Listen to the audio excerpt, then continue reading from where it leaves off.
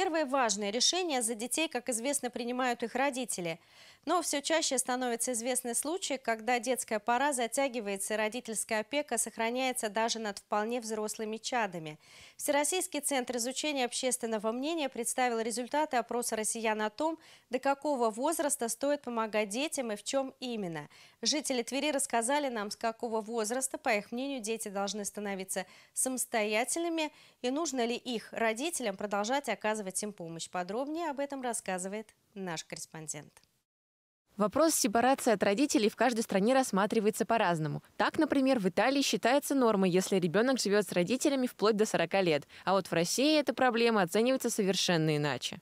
После совершеннолетия когда он уже может сам себя обеспечивать. А лучше, конечно, чтобы он отучился, закончил там желательно высшее образование, а затем уже самостоятельно. Всегда желательно, чтобы родители помогали, если они есть.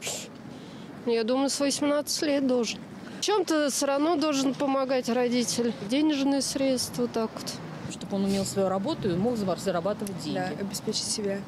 Поэтому это разный возраст. У кого-то с 18, у кого-то с 25. У всех разные возможности. Если родители могут помочь, то замечательно. Если нет, то как показал наш опрос, большинство респондентов считают, что отделение от родителей должно происходить в ранней молодости и в зависимости от сроков получения образования. А вот что думают по этому поводу психологи учитывая инфантильность нынешнего поколения, да, сегодняшнего поколения, было бы неплохо, чтобы хотя бы после вуза они пытались уже, собственно, как-то сами опираться на себя больше, находиться в такой, в более независимом положении и уходить от инфантилизма, который, в общем-то, правда, там достаточно много его. Поэтому в среднем это, наверное, где-то вот 17-21 процесс такого отделения. Получается, что российское представление о самостоятельности детей более научно обосновано, нежели западные представления о сепарации своих чад. И хотя в Европе и принято жить с родителями до порядочного возраста, у нас это все-таки считается не самым оптимальным вариантом развития событий.